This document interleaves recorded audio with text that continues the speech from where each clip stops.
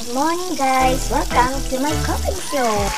Magluluto tayo ngayon ng pancit bisado with chicken and balls ala Tita Ninya recipe.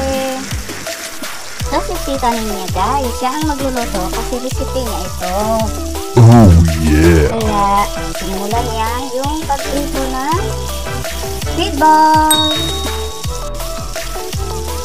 Ay, dumating ang mga pamangkin guys.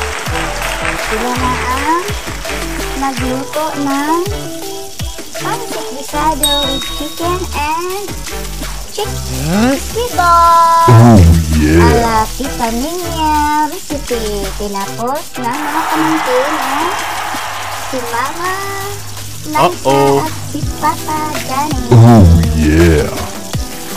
Ipagod na si Tita Ninya. Marami pang niluluto guys. Sinimula na ni Papa Danny. Ito na yung manok. Inadubo pa ng kunti. Ayan, si Mama Liza. Sila na ang nagluto. What? Maawa sa tita nila. Yun.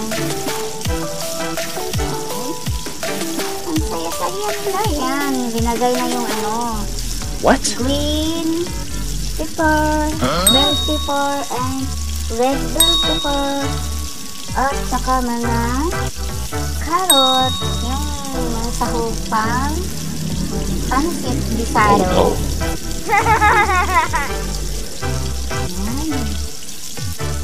Tuloy-tuloy lang si Papa Dani. Kapag nilagay na ang pancit bisado guys. Nilagay na nila ang ay, pancit canton po. Nilagyan ng. Pala, ito ang pancit. Yun, hinalo-halo na, halo-halo. Hinalo-halo hanggang siya ay maluto.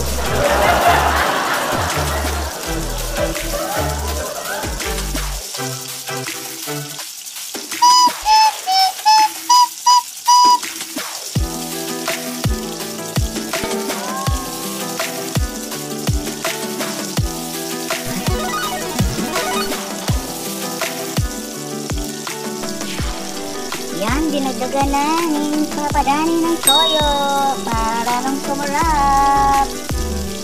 Halo-halo lang naman. Halo-halo, halo-halo.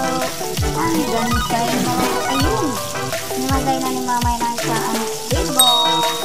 Oh, ma. Very kami. Oh, may What? oh. Oh, sino naman ito? Bakhe naman daw, bakhe naman. May binisibos kayo dyan. Ubus na ang laman.